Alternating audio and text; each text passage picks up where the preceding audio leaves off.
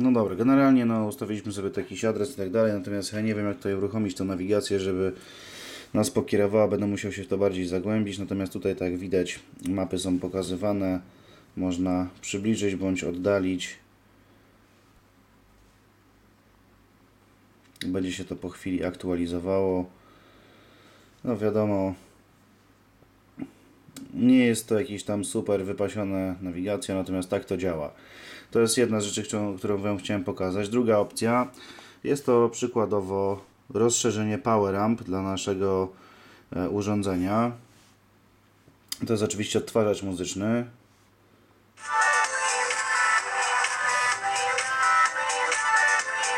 Mamy od razu tutaj okładki. Na samym dole zmieniamy e, sam numer, czyli kawałek, który obecnie leci. Można sobie przełączyć.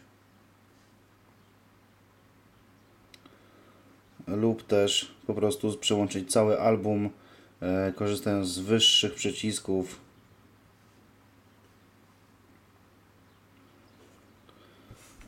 Także tutaj trzeba niestety dosyć dokładnie klikać, żeby się to zmieniło. Przyciski są dosyć małe.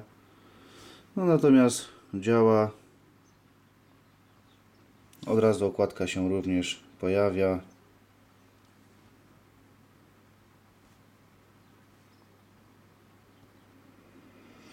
No także oczywiście można włączyć. Z telefonu automatycznie leci. No, także tak działa rozszerzenie Power Ampa. Ono jest całkiem wygodne, naprawdę nie trzeba wyjmować telefonu z kieszeni. Generalnie warto z tego skorzystać. A co jeszcze tu mamy? Oczywiście jest klasyczny odtwarzacz muzyczny, tego już nie będę pokazywał, on jest jeszcze bardziej ograniczony, ma mniej funkcji. No mamy oczywiście budzik, czyli alarmy poustawiane, wszystko to co jest ustawione w telefonie automatycznie jest synchronizowane. No standardowo Facebook, czyli jakieś tam powiadomienia.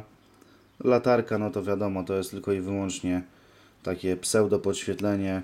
Gmail, aby się zalogować. E, Co tu jeszcze mamy? Mamy taką opcję, gdzie pojawią się wszystkie informacje, czyli to jest e, jakby taki miejsce, w którym pokaże Wam się, czy jest włączony Wi-Fi, Bluetooth, prawda, e, dane mobilne, czy też właśnie dźwięki. To jest tak zwany Commander. E, Co jeszcze tu znajdziemy? No oprócz e, nawigacji mamy jeszcze pogodę. No tu akurat mamy błąd sieci. No nie wiem, zaraz zobaczymy o co chodzi. A, bo jest chyba coś z Wi-Fi. Zaraz sprawdzimy o co chodzi. Pogoda, no lokalizacja, wszystko jest. Powinno być w porządku.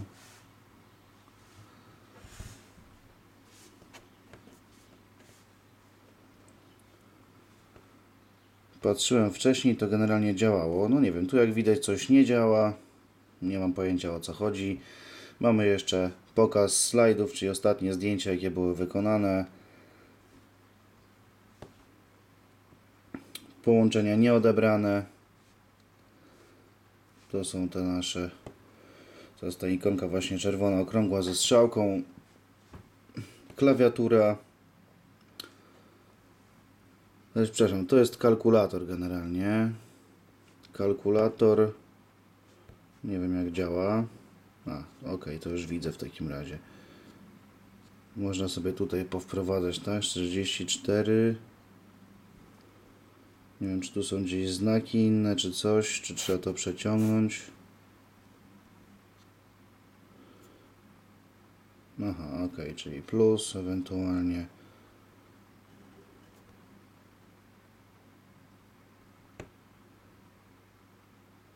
plus 4. No, Gdzie mamy równa się, tak, równa się. No, mamy 8. No, niezbyt specjalne, natomiast działa, także nie ma co się czepiać. Oprócz tego oczywiście mamy klawiaturę do odpisania na SMS. To działa, sprawdzałem, wszystko jest ok. Oczywiście trochę topornie się pisze, no bo wiadomo, trzeba kilkakrotnie klikać na dany przycisk, ale można spokojnie odpisać. Także to jest dosyć w porządku. Mamy też możliwość zdalnego robienia zdjęć. Natomiast tutaj musi być też uruchomiony aparat w telefonie. Tak jak widać się to w tej chwili nie uruchomi, ale możemy od razu Wam pokazać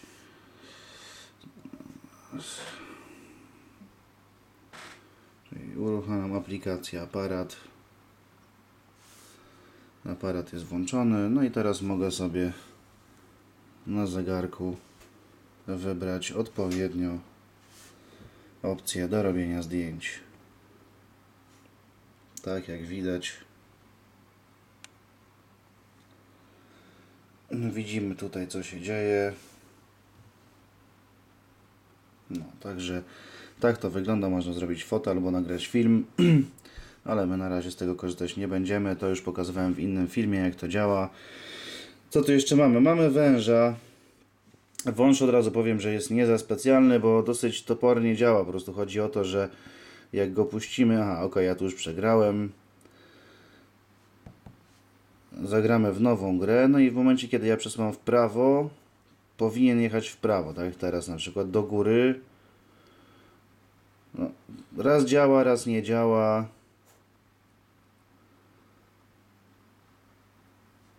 No, tak to wygląda, tak można sobie tutaj pocykać węża. Tak to działa. Że jest wąż i oczywiście mamy e, stoper standardowo. Mamy wiadomości. No telefon. Tutaj oczywiście możemy sobie wybrać, czy też będzie to klawiatura numeryczna. Jeżeli macie słuchawkę Bluetooth, spokojnie możecie zadzwonić. Możecie wybrać czy z kontaktów, czy też właśnie z y, połączeń innych, to możecie wyszukać sobie te rzeczy, także również można wykonywać połączenia. No i co jeszcze mamy oczywiście minutnik.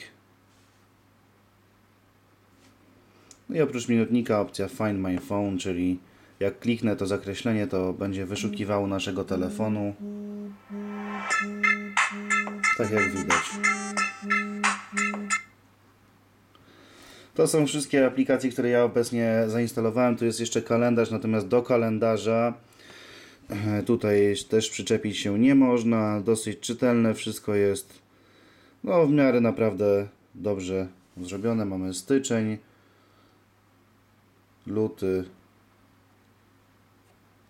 marzec, no i tak dalej oczywiście. W jedną i w drugą powinno to działać. I działa. Także jak na aplikację do tego urządzenia całkiem spoko. Myślę, że każdy z Was byłby zadowolony, jeżeli nie trzeba wyciągać w zimie, zwłaszcza ręki z kieszeni, żeby wykonać dane, dane połączenie, odpisać na SMS-a czy też na, na maila, obojętne. Tak to wygląda. Tak wyglądają aplikacje na Sony Smartwatch 2. Jak macie jakieś pytania, śmiało pytajcie. Zapraszam serdecznie.